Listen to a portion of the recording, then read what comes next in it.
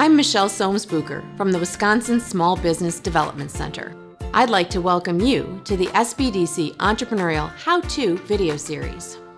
Today, I'm going to outline common ways to fund your business. The initial funds for your business are likely to come from you.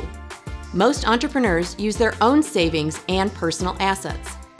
Another common source are gifts or loans from family and friends. You may also seek a business loan, which is referred to as debt financing.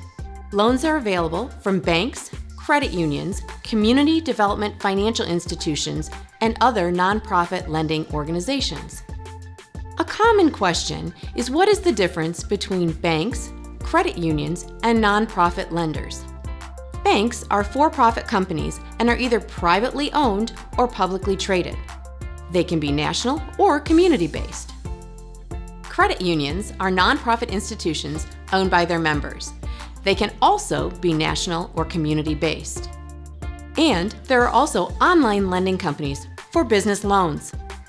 Along with loans, banks and credit unions can also offer businesses checking and savings accounts, credit cards, and other business services. It's good to note that not all banks and credit unions provide business banking and lending. In addition to banks and credit unions, there are also nonprofit lenders. These can include community development financial institutions, community development corporations, and economic development corporations. These types of lenders leverage federal or local dollars alongside private sector capital. They may be mission driven, offering loans to support economically disadvantaged communities.